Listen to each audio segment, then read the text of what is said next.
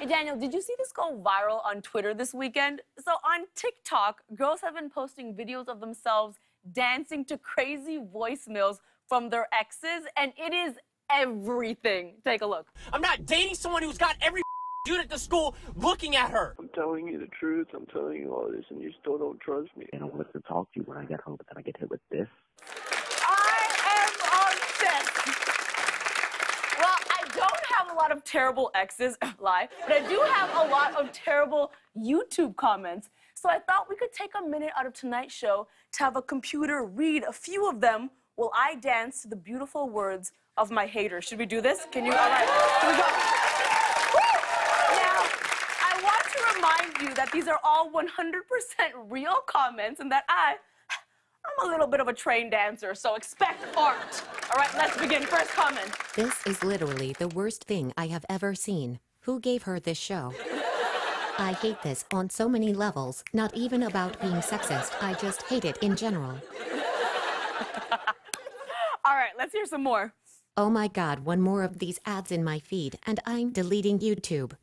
Who was like, oh hey, let's give the most unfunny person ever a show. Yeah, great idea. I can't believe this is a show. It would have been perfectly fine on YouTube or anything that isn't TV. my arm. All right, let's hear some more. This clip doesn't instill confidence in me that this show will be watchable. I think I cringe myself into a black hole. Lilly seems desperate to make the audience laugh, and unfortunately, in my case, only very rarely did this happen. Now, I'd like to close this performance with a comment from Rotten Tomatoes. I'm out of breath, that's sad. We're actually one of the few shows to have 100% fresh ratings from critics. Can we take a minute? But, but, that doesn't mean we don't still get the occasional mean comment. So let's hear one.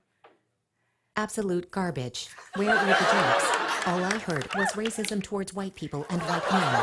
Why is racism towards white people okay, but not for POC? Racism needs to end, and this nonsense is why it never will.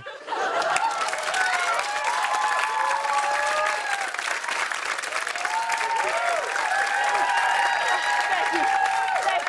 Oh. Oh.